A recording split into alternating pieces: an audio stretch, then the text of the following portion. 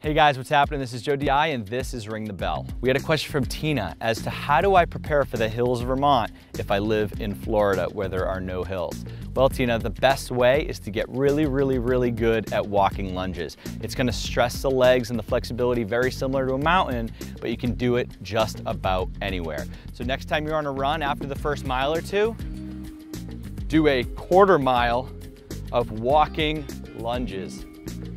Then go back to your normal run.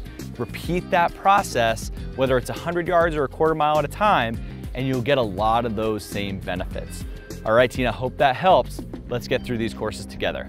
Aroo.